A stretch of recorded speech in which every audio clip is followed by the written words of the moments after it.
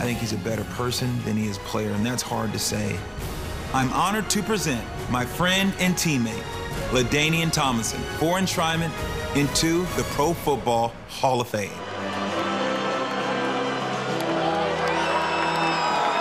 I am deeply honored to present my dear friend, Terrell Davis, for enshrinement into the Pro Football Hall of Fame. See, that looks pretty good. Well, after the drama, the relocations, and the shunning of an entire community, I don't blame anyone for asking why today matters. But then you look up and you see a man who honored his community by overcoming a migraine to win the biggest game in his own backyard. And next to him, you see a man that the world knows for 31 touchdowns in a single season. But we here know for feeding more than 2,100 families during the holidays. And that's when you realize that no owner and no moving trucks can move you from enjoying Terrell Davis and LaDainian Tomlinson earning football immortality. I spent nine years with the San Diego Chargers. Head coach Marty Schottenheimer was the best coach I ever had, and we won five division titles. Dean, your family gave me my first opportunity in the NFL, and now as your special assistant, my most recent. I was honored to play alongside many outstanding players like the late Junior Seau, Drew Brees, Rodney Harrison, with all my Charger teammates, please stand. Love you guys. I went into a tailspin. I quit playing football. I was failing school. I was clearly a child in crisis. My daily ritual was hanging out with friends and getting into trouble. But this all came to a screeching halt late one night when I was 14. I found myself literally staring down the barrel of a shotgun. That night, I determined that I would walk away from the irresponsible life I'd been living forever. I transferred to Lincoln High School. I worked to get better grades. I joined the football team. Lincoln provided me the fresh start that I needed. Well, now to give me that carrot, here's the stick. The LA Chargers playing inside their new soccer home for the first time in a joint practice with the LA Rams. Now, is it a coincidence that the franchises of Kurt Warner and LT didn't want the focus to be on players from their old places of playing? I don't know, but let's hear from the guy allowed to go to Canton and the guy that was not. There's a lot of values and, and things I put in perspective of what he means to me and what he's always meant to the Chargers organization. And uh, I tried to weigh the pros and cons. And I, at this point, I just felt like uh, I couldn't figure out a reason not to be here. I'm standing right here in the end zone where you broke the touchdown record, December 2006. I just want to say congratulations on being inducted into the Pro Football Hall of Fame and how thankful I am and what an honor it was to be a teammate of yours. Back on our shores, USD football has returned to the field for the start of their fall camp. The Toreros now getting to deal with what every successful team gets to deal with expectations. It comes when you win your first FCS playoff game, you return 12 starters, and your quarterback is a Silver Pigskin finalist. I think what we're able, going to be able to do is build off of last season. So last season was obviously the best year in school history, and what I think is going to set up this season for success is a lot of the guys who had playing time, significant roles in last year's team, are going to need to get the rest of the team up to speed and make sure that that continues. Our upperclassmen have all tasted championships. They know that that's a, a tough road to go and get, and we have to go through a lot of tough opponents and we've got some young promising freshmen. We hope that we find a half a dozen more who can help us win some games this year. Of course, what you know is best for is prep football and to get you ready for the first episode of the PPR on August 25th. Do not forget to stop by our website at KUSI.com slash PPR.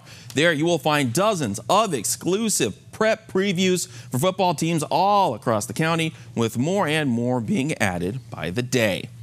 For Torrey Pines football, August isn't just about training, it's about fundraising as well, especially when you can find an auctioneer just as good as this guy. My boss, Paul Rudy, putting the chance of a lifetime on that auction block. A spot at being a pigskin idol. Sources telling me it went for more cash than a ride on a Miramar jet simulator. Is the family going to be, be able to eat after this? no, you kidding me? But it's worth it. It's worth it for the kids and worth it for the show. Yeah, our kids will be uh, collecting cans simultaneously. We, as well as many other high schools, have gone to hawk tackling, head behind tackling. We saw a huge drop in concussion rates in our program last year, and it was our third year of hawk tackling. You know, we feel like as a football community, we're on the right path. We're doing our best to protect kids and make our great game greater. Well, earlier we showed you Terrell Davis, one of the faces on Lincoln High's Mount Rushmore, and in time we might be adding this guy to that list. Norman Powell, the Toronto Raptors star, hosting his second annual free youth camp at his old Hornet gym. Now, Powell and his high school crew christening this building back in 2010 when they brought home a state championship. And now he's telling these children that no matter the obstacles in front of them, they can make the same magic happen that he did sports in general, not only basketball, but sports around the world is getting really competitive. So, I mean, I think it's a, a good thing for kids to be able to come out get free teaching from some of the, coaches that have taught me uh, when I was their age uh, growing up.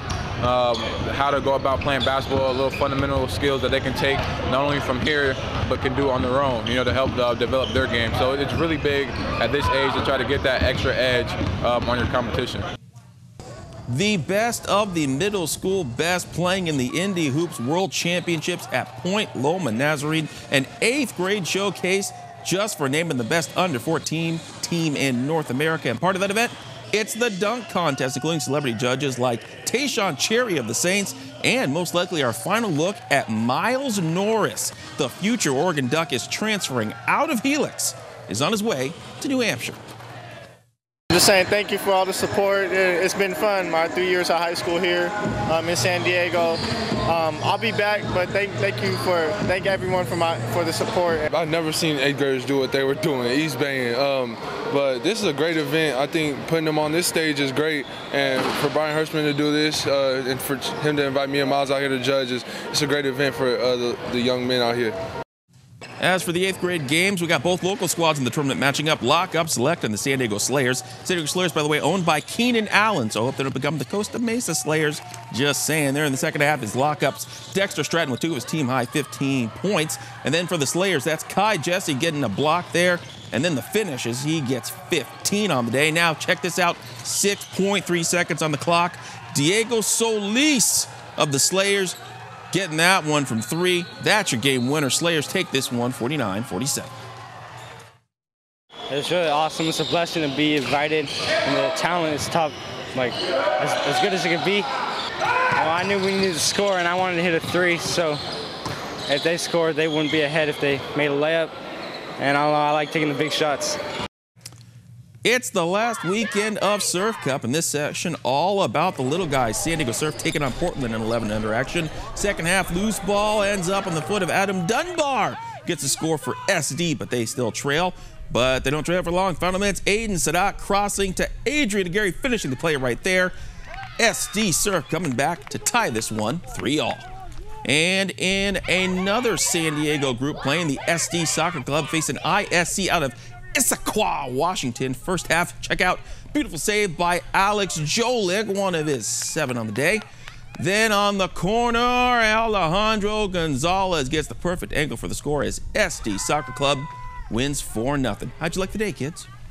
This is my first international tournament, so I'm not very, I'm not like used to all these different teams. I know everyone's really good, so I'm always prepared for a good match. It feels good playing into a national, playing an international team, because you're showing everybody how you um like started playing soccer. Let's go to the San Diego Country Club. Top golfers from across the world are gathering for the U.S. Women's Amateur Championship. The official competition beginning on Monday, so the players are taking this weekend to just get familiar with the course. And the 156 player field includes six local products, two of them still in high school. I've been working hard to be able to qualify for this event, knowing that it was here for a couple years now. So it's I'm blessed that I'm actually here right now, and I'm excited for the week. It means a lot to have a hometown big USGA event here, especially at a prestige course like this. Just because it's really close and I'll have a lot of friends and family coming out to watch. I would like it to be a little rowdy too, especially if I'm like down in a match or trying to get back up and they can cheer me on. I think it'd mean a lot if I won. It's um, the neighborhood that I grew up in and it's a golf course that I've always wanted to play at. So um, it'll have a very special place in my heart.